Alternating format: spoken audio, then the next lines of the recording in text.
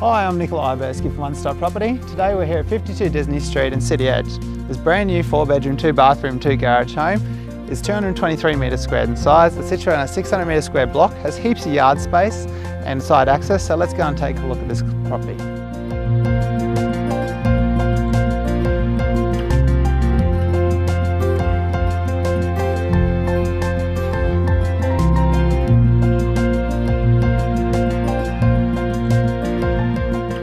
High-end finished galley kitchen, has stone bench tops, you've got 900ml appliances, soft closing drawers, a walk-in pantry and your dishwasher.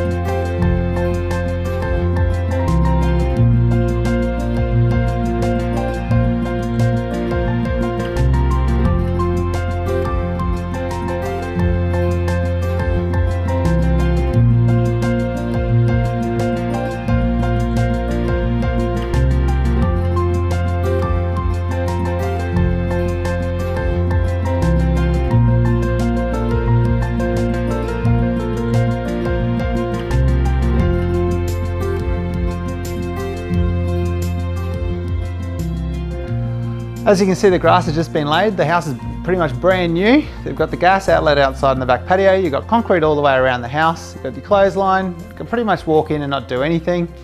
If you like an inspection, please don't hesitate to call anytime. I'm Nickoli Obersky. Thank you.